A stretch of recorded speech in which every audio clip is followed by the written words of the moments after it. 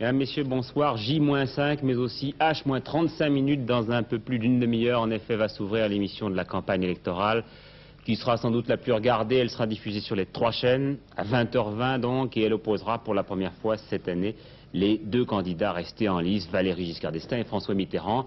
Les deux hommes connaissent bien ce genre d'épreuve. Il y a sept ans déjà, ils étaient l'un en face de l'autre. Sans plus attendre, essayons de savoir comment l'un et l'autre se sont préparés. D'abord, la journée rue de Solferino avec Dominique Laurie.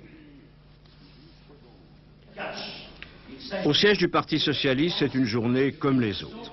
À la conférence de presse quotidienne, si l'on a évoqué le débat de ce soir, c'est surtout pour en préciser les modalités. Ce n'est pas un match ni un combat de catch, a souligné Georges Fillou. Les Français ne se déterminent pas sur une prestation télévisée, mais sur un programme. Nous n'avons aucune espèce d'inquiétude. Il n'y aura pas de bon et de meilleur. Il y aura le meilleur, c'est François Mitterrand, celui qui propose aux Français une autre politique. Le programme de François Mitterrand aujourd'hui, au service de presse, on répond simplement qu'il travaille et se détend, loin de l'agitation. Pendant ce temps, au premier étage du siège du PS, les délégués de François Mitterrand, loin du débat, préparent les derniers meetings de la campagne. Dans cette réunion, une seule absence, à peine évoquée.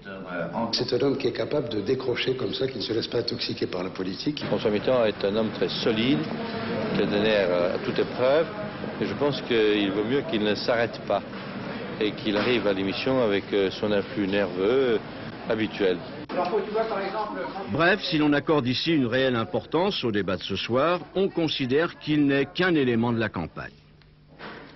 Quant à François Mitterrand, effectivement, loin de l'agitation, il s'est simplement détendu à son domicile et s'est offert cet après-midi une courte promenade sur les quais de la Seine avant de recevoir ses principaux collaborateurs.